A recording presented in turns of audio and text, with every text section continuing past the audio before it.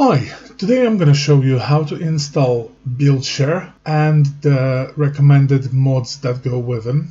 Um, that's Bepinex and InSlim. I'm making this video because whenever I tried to do it in the past, uh, I, would find a YouTube video and I would follow that YouTube video and I would end up with a game crashing or not fully loading or with some kind of a glitch. So what I would suggest is to start with a fresh uh, game installation. But before we install the game, I would suggest to install a 7-zip. 7-zip, here's the URL for it. You're gonna need it to unrar some files. Those links will be in the description. You go to this website, you look for the 7-zip and you look for download next to the 64-bit version. So once you have it, you click on that download and you're gonna have 7z2200-x64-exe and you're gonna click open file. You're gonna click yes when asked do you want to allow this app and you're gonna click install and you're gonna click close. Now we did that because we will need to unpack some of the mods. For some reason people are using RAR which is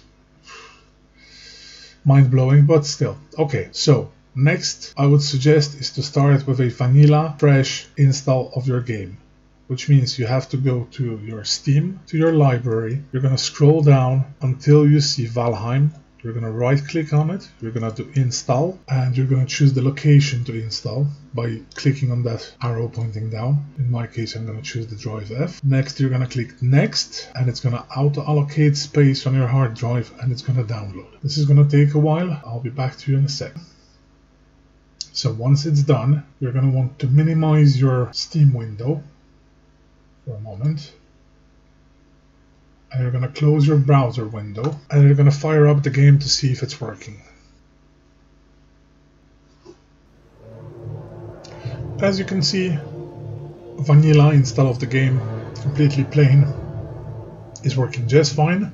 So we're going to quit the game. You're going to unminimize your Steam window and you're going to go to your library and you're going to go to your Valheim, right click on it, manage browse local files and you can close your Steam window. We're going to move this window to the left. Now, next thing you need to do is visit the Bepinex uh, link.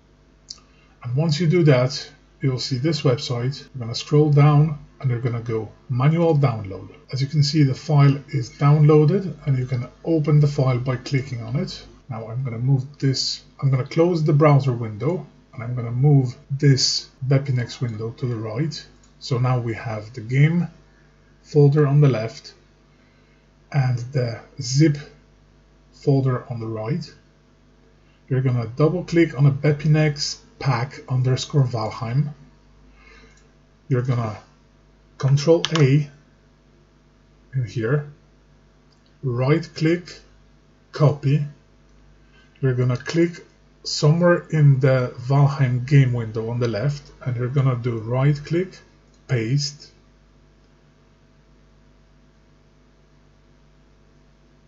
Now this is done. We're gonna close the Bepinex window on the right and we're gonna visit the InSlim mod website.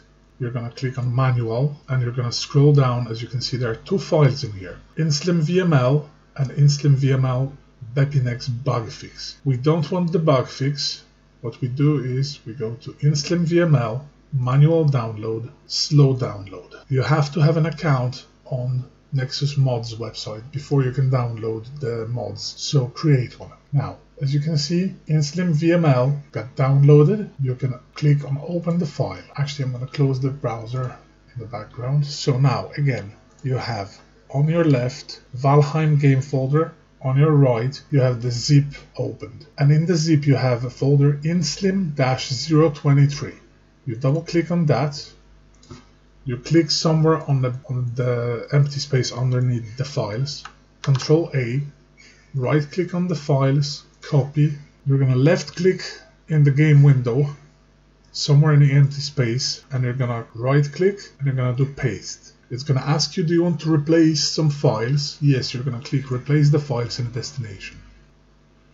Now we can close the InSlim folder on the right, and in the game window itself, you will find a folder called unstripped core lib. You double click on it, you click somewhere in the empty space, left click, then you control A, you right click on the files, you do copy. Then you're gonna press the arrow, up arrow, you're gonna find a Valheim data folder, double click on that, managed folder, double click on that, find any empty space, click on it, then right click and paste. It's going to ask you if you want to replace the files in a destination. Yes, you want to replace the files in a destination. Now we're going to test if the game is working. It should. We double click on a game icon on the desktop and you'll see this black window.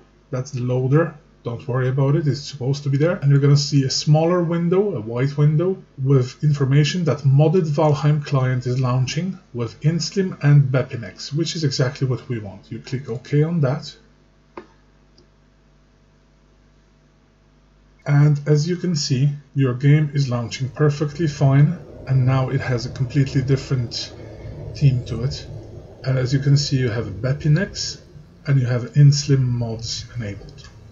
You're gonna quit the game and now um, in your game window you should still be in the managed folder. You're gonna click up arrow twice.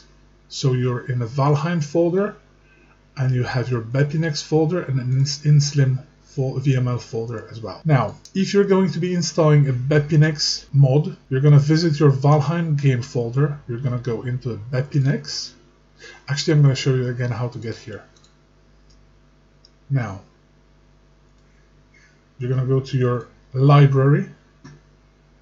You're going to right click on Valheim, manage, browse local files, and you're in that folder. You're going to click the Steam window.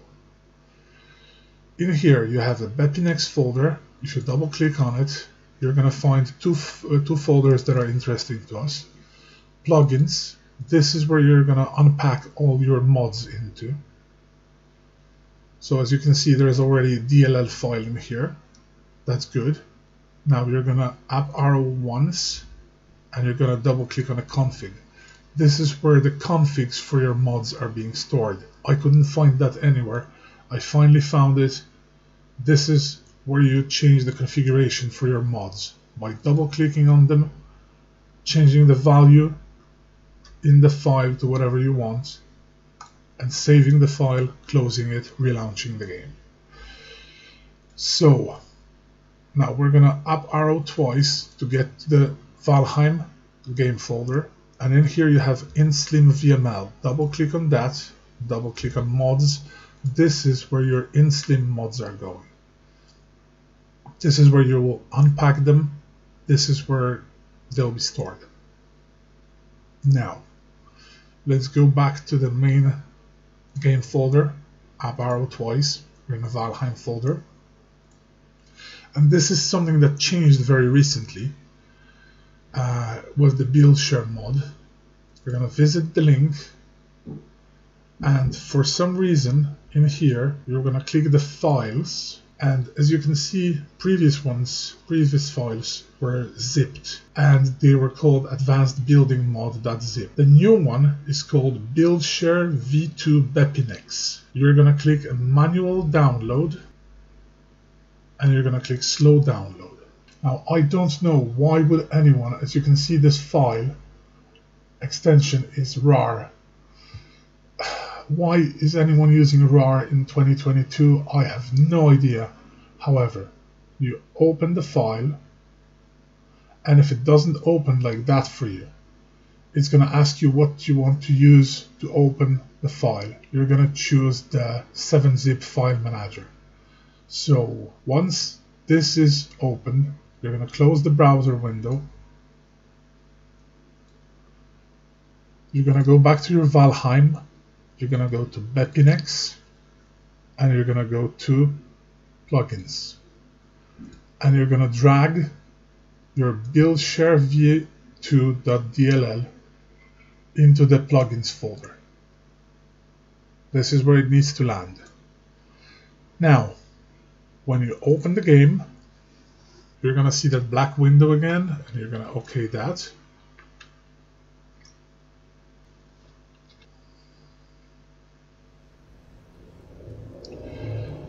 And you're gonna start game. As you normally would. And once you're in the game you'll notice that on your left hand side if you press tab you'll get the sword cursor.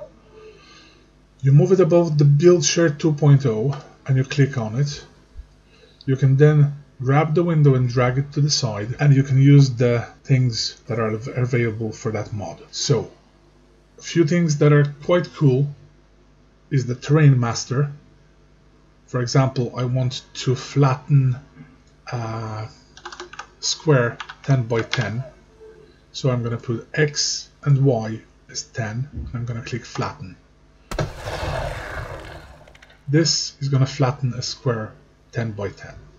Now, 15 by 15, flatten, excellent. So, uh, what is this mod for? Uh, you can drop buildings instantly into your game without the needed components or materials.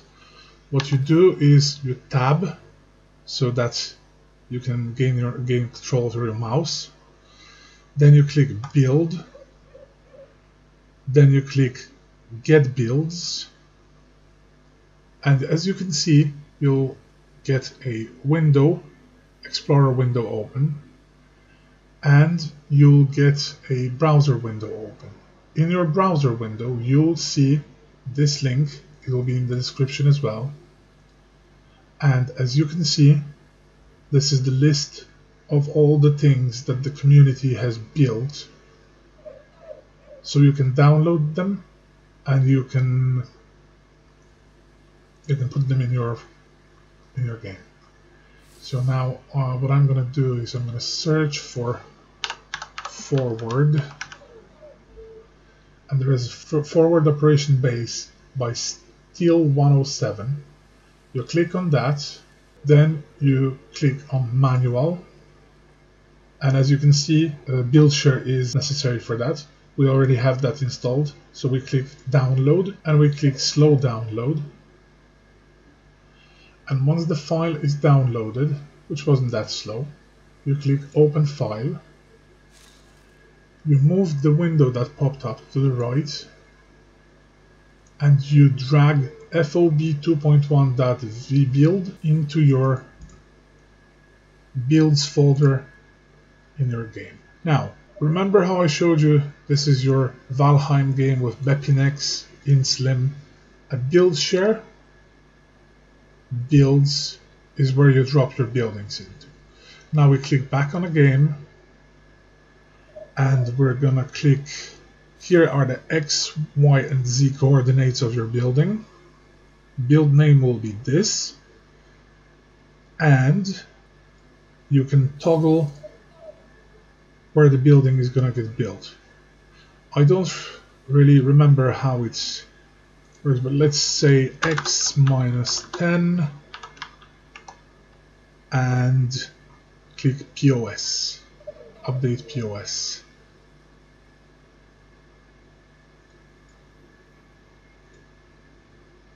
that's not working in a new version either. Okay. So this is where it's going to get built. Let's say that's where I wanted, you click build.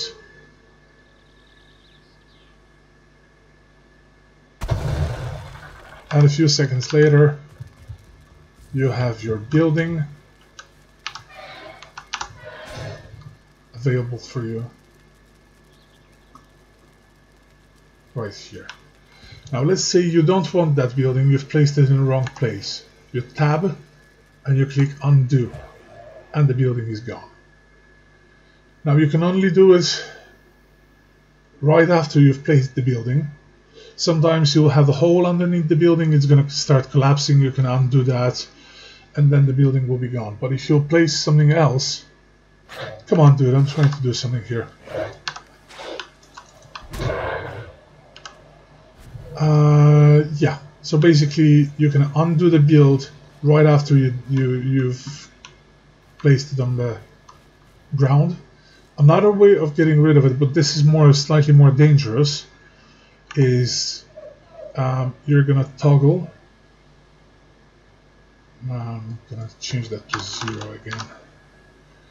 And you're gonna update the POS or toggle again, and you're gonna build.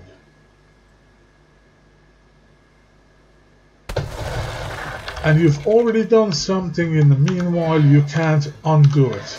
So what you do is you go inside the building, somewhere in the middle, aye,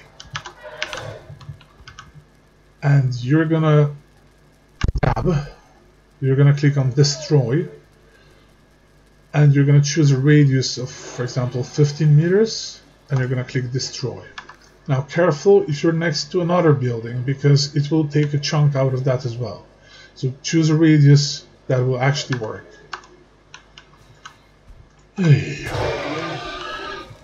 Right So you can flatten the terrain, you can remove the terrain, you can remove the trees. So this is a great little mod. It will allow you to drop many buildings into your uh, game and you can actually save them as well. So for example, if I build FOB again. I made some changes to it and I want to save it. So let's say I'm going to stand in front of the building, tab, save, and I'm going to choose current and I'm going to choose radius of 20. The build name will be my house and I'm going to display toggle visibility toggle visible display true so if you escape and you click somewhere on the game you can move around and you can actually see that the whole building is covered except for teleport the portal which is a bit trickier I might do a video on how to do that. However, once you have this, and you're sure that your radius is fine, you can change the radius. Tab, change the radius to let's say 25 if you're not happy with 20. And you're gonna do save. Do not save the terrain, it's gonna take too much effort. Anyway, now you can click on the game, escape, move somewhere.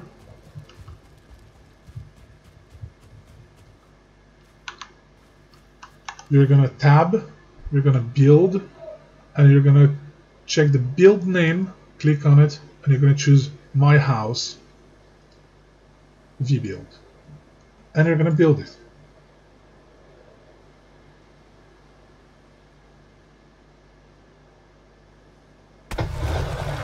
And as you can see, right in front of you is your new building. Oh, including the portal. Nice. I guess it didn't work in the previous version, it works here. So now as you can see, you have two buildings. And you didn't spend any resources. Now, that's about it for the game itself, for this video. I'm gonna try to make some more of them, but uh, if I have the right if it's if I have the time and if I have the need for it but basically that's it it's a cool mod thank you for watching and I'll see you next time